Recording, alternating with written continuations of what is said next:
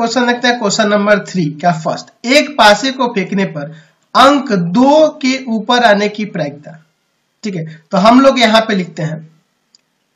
एक पासे को फेंकने पर, पासे को फेंकने पर फेंकने पर कुल संभावित परिणाम, कुल संभावित परिणाम। क्या क्या हो सकते हैं? तो एक से लेकर छह तक, यानी कुल संभावित परिणाम छह होंगे। ठीक है?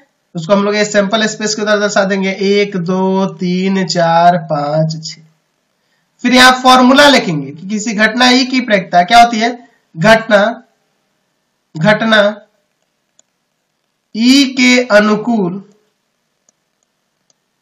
परिणामों की संख्या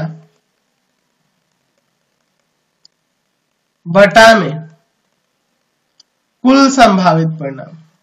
बटा में कुल संभावित परिणाम। कुल संभावित परिणाम। ऐसे हम लोग ये फॉर्मूला पहले लिख देंगे, अब एक नंबर देंगे। हमें प्रायिकता लानी है क्या? अंक दो ऊपर आने की। अंक दो प्राप्त होने की प्रायिकता। तो अंक दो इसमें कितना बार है? एक बार है। और बटा में टोटल परिणाम कितने हैं? छह। है एक बट्टा छ दूसरा क्या कह रहा है? एक पासे को फेंकने पर पाँच के ऊपर नहीं आने की।